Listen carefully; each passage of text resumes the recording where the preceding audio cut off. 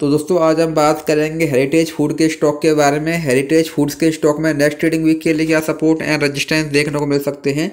उसके बारे में आज इस वीडियो में बात करेंगे। हम अगर यहाँ पर स्टॉक की बात करें तो हम देखेंगे जो ये स्टॉक है, ये हमको पिछले एक लंबे समय से यहाँ पर लगातार पहले क्लियर डाउन ट्रेंड में देखने को मिल रहा था। पहले हमको स्टॉक में लोअर लो लोअर हाई वाला पैटर्न यहाँ पर देखने को मिल रहा था।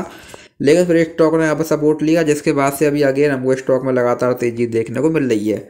आज भी हमको यहाँ पर स्टॉक में three point two two percent की यहाँ पर तेज़ी देखने को मिली है। तो यहाँ से अभी हम स्टॉक में बात करें, यहाँ से अगर अभी स्टॉक में और तेज़ी आती है तो यहाँ से अभी और तेज़ी की कंडीशन में हमारे पास यहाँ पर स्टॉक में टू फोर्टी एट का पहला यहाँ पर रजिस्टेंस देखने को मिलेगा। अगर स्टॉक इसको ब्रेक करेगा देन यहाँ से हमको स्टॉक में अगेन एक बड़ी तेज़ी, एक बड़ी बाइंग यहाँ पर देखने को मिल सकती है। इसके बाद हमको यहाँ पर स्टॉक में टू सिक्सटी वन इसके बाद हमको यहाँ पर स्टॉक में टू सेवेंटी नाइन और अगर स्टॉक ने इसको भी यहाँ ब्रेक किया देन यहाँ से भी हमको स्टॉक में अगेन थ्री हंड्रेड इसके बाद हमको यहाँ पर स्टॉक में थ्री ट्वेंटी फाइव और थ्री फिफ्टी तक के लेवल्स भी यहाँ से देखने को मिल सकते हैं एज ए नेक्स्ट यहाँ पर रजिस्टेंस वही यहाँ से अब अगर स्टॉक में गिरावट आती है तो यहाँ से गिरावट की कंडीशन में हमारे पास यहाँ पर स्टॉक में 240 का पहला यहाँ पर सपोर्ट देखने को मिलेगा।